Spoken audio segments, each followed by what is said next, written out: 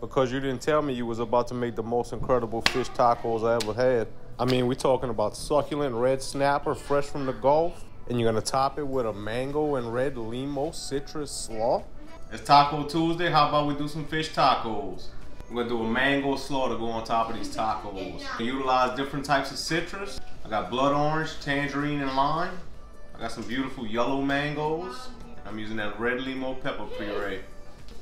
Let's go ahead and start out by making the dressing for our slaw. I'm gonna start out with a little bit of mayo. And now just to give it a little bit more sweetness, we're gonna add in a touch of honey. Add in just a little bit of that limo pepper puree. You can go ahead and play with this till you get to the spiciness that you like. Now we're gonna add our citrus and this is what's gonna help make it really bright and fresh. And you could use whatever citruses you find. Go ahead and squeeze them out and make sure you catch any seeds. Go ahead and season that up with a little bit of salt and pepper. Toss in a little bit of fresh cilantro and then give this a whisk till it's well combined. Now it wouldn't be a slaw without a little crunch. Trim and cut your cabbage in half and remove the core and then you want to cut it up into little bitty chunks. Go ahead and throw that into the dressing while we move on to the next step.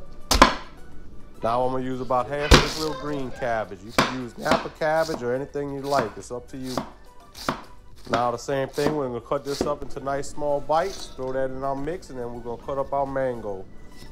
Now I picked up some of these yellow mangoes because they looked and smelled delicious, so I wanted to give them a try. Go ahead, cut the ends off and peel it and cut that core out. Then I want to cut this into thin little strips about the same size as my cabbage. Throw it in a bowl and mix that all together. I got some red snapper fillets. You could use any fish you'd like. We're gonna be seasoning it up with that Boudreaux's fire and smoke. Make sure and pat the fish really dry and then give it a good seasoning on both sides. I got my grill pan really hot and I went ahead and oiled it up and laid my fish in.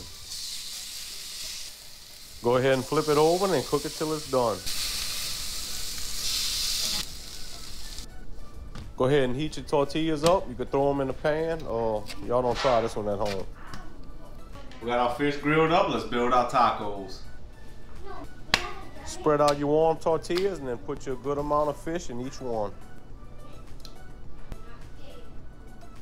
Top it with that mango and limo slaw.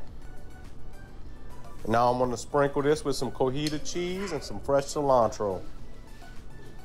Garnish it up with some of that citrus, and there you go. That red limo is a limited time offer, so check the link in the bio to get yours before they out. Is it Taco Tuesday?